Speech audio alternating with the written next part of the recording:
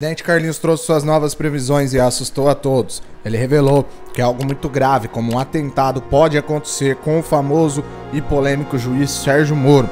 Carlinhos ainda disse que isso pode acontecer nas próximas semanas ou até mesmo meses. E segundo o próprio vidente disse, Sérgio Moro pode até mesmo desistir da sua carreira como ministro e juiz, depois de passar por um grande susto, que segundo Carlinhos não acontecerá nada muito grave mas será um susto que parará o Brasil.